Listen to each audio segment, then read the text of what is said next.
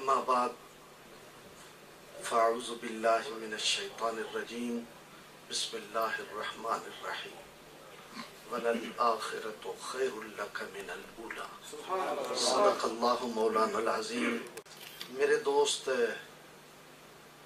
मेरे बारे में बड़े बड़े अल्फाज बोल रहे थे और मेरा माथा शर्मिंदगी के पसीने से भीग रहा था मैं अल्लाह की बारगाह में इतनी अर्ज़ करता हूँ।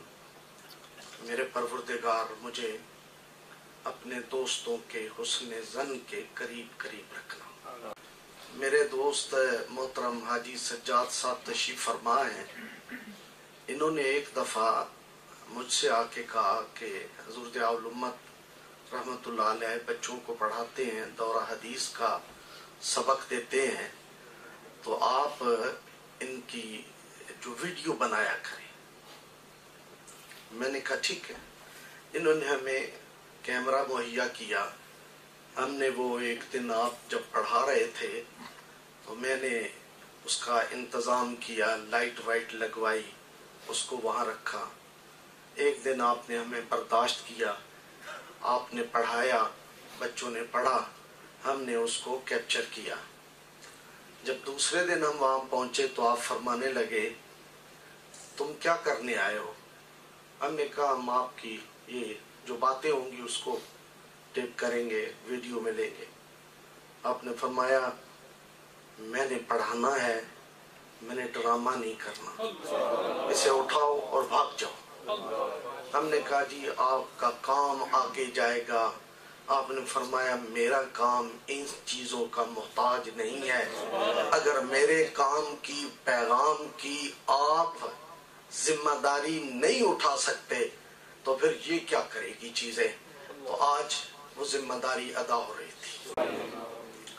हज़रत मोहतरम, मेरी दूसरी गुजारिश ये है कि मैं पाकिस्तान से चला हूँ तो मैं अजद दुखी था। मुझे अजद तकलीफ़ थी। वो तकलीफ़ और दुख और गम क्या था? वो माल के जाने का गम नहीं था। वो जायद के जाने का गम नहीं था। वो एक अल्लाह के बंदे के जाने का गम था कि पाकिस्तान में ताजदार गोलड़ा हजूर पीर मेरे शाह साहब अलैह का बुलंद इकबाल पोता हज़रत पीर सैयद नसीर उद्दीन नसीर इस दुनिया से रुखसत हो गए। मैं ये समझता हूँ, अहले तरीकत के लिए ये सदमा तमाम दीगर सदमात से बढ़कर सदमा है। खुदा जानता है अल्लाह ने उनको जाहिरी जमाल भी अता किया, उनको इल्मी वजाहत भी अता की, और उनको खानदानी और हसबी, नस्बी भी बनाया। और क्या अदाएँ उनको अल्लाह ताला ने अता की थी? और मैं, खुदा जानता है, मैं क्या अर्ज़ करूँ? मुझे अजहद तकलीफ़ है, मुझे अजहद दुख है, मुझे अजहद अफसोस है। कौमें पैसों की कमी बेशी से नहीं मरती।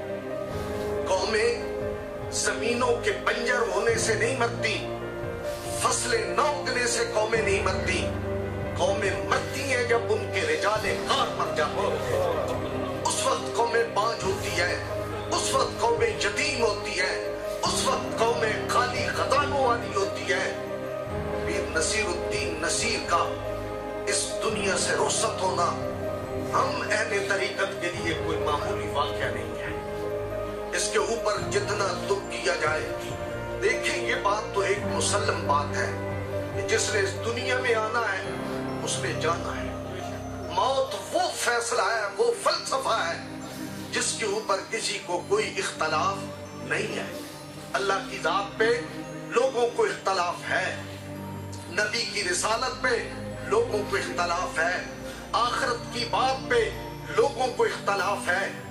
जन्नत दो के तस्वुर पे लोगों को इख्तलाफ है, लेकिन मौत पे किसी को कोई इख्तलाफ नहीं है। शाह ने भी जाना है, गदा ने भी जाना है, फकीर ने भी जाना है, गनी ने भी जाना है, तू ने भी जाना है, मैंने भी जाना है। वो किसी शायर ने क्या खूब कहा कि जब अहमद मुरसल न रहे और कौन रहेगा? अगर अल्लाह के नबी को इस मौत के अमल से मेरे रब ने गुजारा है। तो फिर तू और मैं किस बात की भूली है? हम किस बात खेत के जो है वो वो एक अरबी के शायर का बहुत खूबसूरत शेर है। वो कहते हैं कि मलकुन युनादी कुल्ल यौमिन, आसमान से फरिश्ता उतरता है। हर रोज उतर के लोगों के कानों में सरगोशी करता है। उनके कान मुँह के साथ ले जाकर कहता है, लदू लिल मौते। फबनू खराबी। लोगो याद कर लो। लोगों इस बात को जहन में बिठा लो। जिस इंसान को माँ ने जगना है, उसने मौत का जायका चखना है। और जितना बड़ा महल बना लो, जितने बड़े कले तामीर कर लो, जितनी बड़ी खूबसूरत इमारतें बना लो, वो कहता है, एक दिन आना है कि उन इमारतों ने खंडर बनना है। उन्होंने इमरत का निशान बन हजरात मोहतरम, ये मौत तो ऐसी चीज़ है जिसने हर एक के ऊपर उतरना है। तेरे ऊपर भी, मेरे ऊपर। वो कहते हैं कि अबू मन, अबू जाफ़र मंसूर, एक खलीफा गुजरा। उसने एक महल बनवाया। महल बड़ा खूबसूरत, बड़ा शानदार, बड़ा कीमती, मटेरियल भी दूर दूर से मंगवा के उसमें लगवाया। उसके दरवाजे आबरूस के बनवा के लगवाए, उसके दरवाजों के ऊपर सोने का काम करवाया।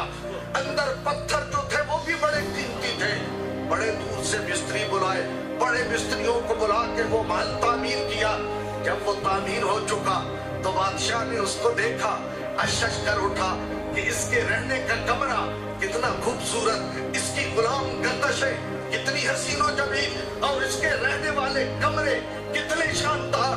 मेरे दरबार का हाल इतना खूबसूरत। बादशाह फरेफ्ता हो गया। उसके दिल में आया, ऐलान कर दो मेरी ममलिकत में। लोगों आओ। बादशाह ने महल बनाया। बादशाह ने घर बनाया। बादशाह ने कला तामीर किया। इसके हुसन को देखो।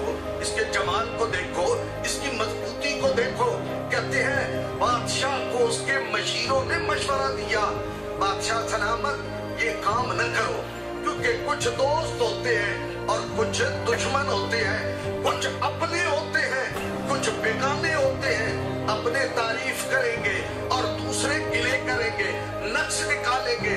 बादशाह कहने लगा, यही तो मतलूब है, अपने खुश हो और शरीक चल जाए और अगर कोई वो नक्श निकाले तो मैं इसमें दाखिल होने से पहले वो नक्श दूर कर लू।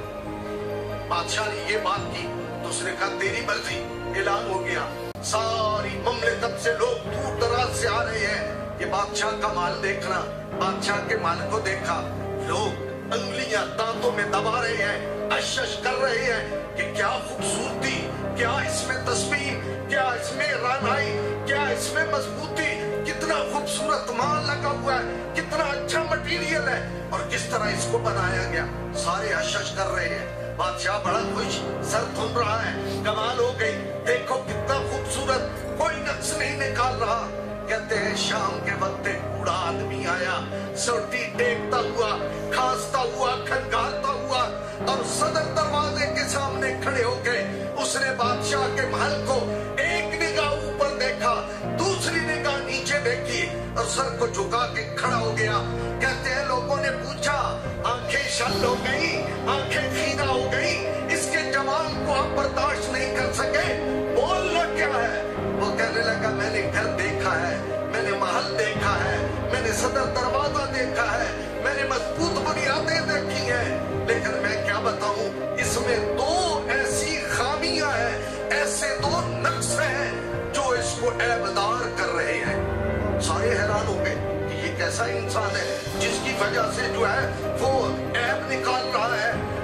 वज़ीर आ गए। उन्होंने पूछा ऐप बता। उसने कहा, तुम्हें नहीं, बादशाह को बताऊँगा। खलीफा के पास ले चलो। उसको जाके कहूँगा, इसमें ये नुक्स है, इसमें ये नक्स है, इसमें ये खराबी है। उसको पकड़ के ले गए। बादशाह सलामत, ये देखो ये देखो, तन पे कपड़ा नहीं, रहने को झोपड़ा नहीं, और लगा बादशाह के माल के नुक्स बयान करने। ये कहता है, बादशाह के माल में दो डिफ़ॉल्ट है, दो नक्स है खराबियाँ हैं। बादशाह ने कहा तो ठीक है, इसको मेरे आगे करो।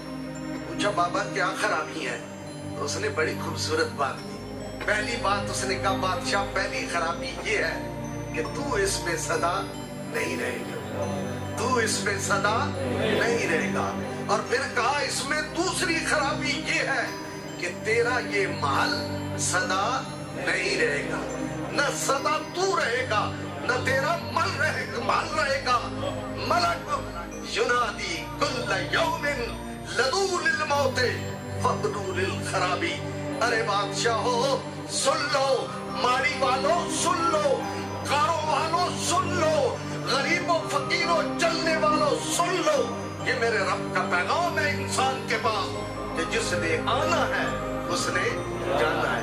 और जिसने जो कुछ बनाया है उसने एक दिन खंडर, हज़रत मोहतरम, मैं हज़रत बिन नसीरुद्दीन नसीर की बात कर रहा था, अल्लाह ताला उनके दर्जात को बुलंद करे।